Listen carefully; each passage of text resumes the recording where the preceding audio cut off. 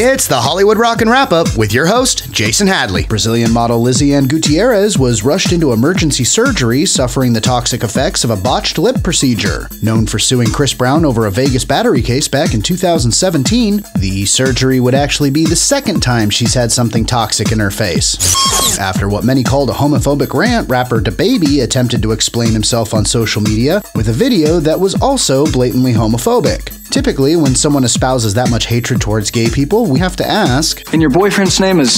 Singer Pink made headlines offering to pay the fines handed to Norway's Olympic handball team after the team claimed the uniforms for female competitors were sexist. In a related story, singer Pink made headlines.